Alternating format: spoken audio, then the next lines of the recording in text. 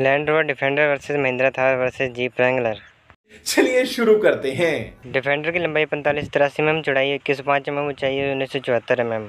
थार की लंबाई उनतालीस सौ पचासी एम चौड़ाई अठारह सौ बीस एम एम ऊंचाई अठारह सौ चौवालीस एम रेंगलर की लंबाई अड़तालीस सौ बयासी एम चौड़ाई अठारह सौ चौरानवे एम ऊंचाई अठारह सौ अड़तालीस एम एम डिफेंडर का व्हील बेस है पच्चीस सौ सतासी एम थार का व्हील बेस है चौबीस सौ पचास एम एम और रेगुलर का व्हील बेस है तीन हज़ार आठ एम एम डिफेंडर का ग्राउंड क्लियरेंस है दो सौ पच्चीस एम एम थार का ग्राउंड क्लियरेंस है दो सौ छब्बीस एम एम और रेगुलर का ग्राउंड क्लियरेंस है दो सौ सत्रह एम एम डिफेंडर का पेट्रोल इंजन है उन्नीस सौ सतानवे C G four cylinder Mahindra Thar का डीजल इंजन है इक्कीस सौ चौरासी सी जी फोर सिलेंडर और रेगुलर का पेट्रोल इंजन है उन्नीस सौ पचानवे C C four cylinder Defender की पावर है तीन सौ बीच पी, चार सौ डॉर्क महिंद्रा थार की पावर है एक सौ तीस बीच पी, तीन सौ डॉर्क और रेगुलर की पावर है दो सौ अड़सठ बीच पी, चार सौ डॉर्क तीनों ही हमें मिलती है फोर बाई फोर ऑप्शन के साथ. लैंड रोवर डिफेंडर का एक शोरूम प्राइस है अस्सी पॉइंट बहत्तर लाख रुपए महिंद्र थार का एक शोरूम प्राइस सोलह पॉइंट अठहत्तर लाख रुपए और जीप रैंगलर का एक शोरूम प्राइस है चौसठ पॉइंट साठ लाख रुपए विनर है महिंद्रा थार। आज की वीडियो में बस इतना ही। मिलती है किसी नेक्स्ट वीडियो में। वीडियो देने लिए आप सभी का धन्यवाद। Thank you so much